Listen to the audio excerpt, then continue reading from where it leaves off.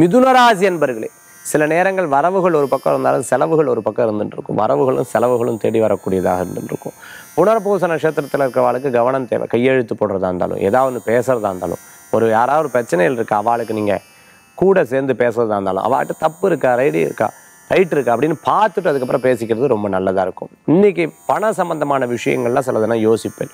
மிருகசீர்ஷ நட்சத்திரம் திருவாதிரை நட்சத்திரம் இருக்கிறவா நிறைய சம்பாத்தியம் பண்ணணும். எல்லாரும் எனக்கு கிண்டல் கேள்வி பண்ணவா முன்னாடி நின்று காமிக்கணும் பதவி வாங்கணும் அப்படிங்கிற ஒரு எண்ணங்கள் மனசில் தோணக்கூடியதாக இருக்கும். சில கஷ்டங்கள் அனுபவிச்சுட்டு இருப்போம் அந்த கஷ்டங்களுக்கு இறைவன் ஏன் எனக்கு மட்டும் இப்படி வைக்கிறாங்கிற ஒரு யோசனை இருக்கும். கொஞ்ச நேரத்தில் அது மாறிடும். சரி எல்லாம் நல்லதுக்கு தான் அப்படிங்கிற ஒரு எண்ணங்கள் தேடி இன்றைய தினத்தில் மிதுனராசி என்பவர்களுக்குண்டான உண்டான அதிர்ஷ்டமான ஒன்று நிற பல வர்ண நிற வழிபாட்டுக்குண்டான தெய்வம் நவக்கிரக வழிபாடு மீனாட்சி வழிபாடு வெற்றி வழிபாடு.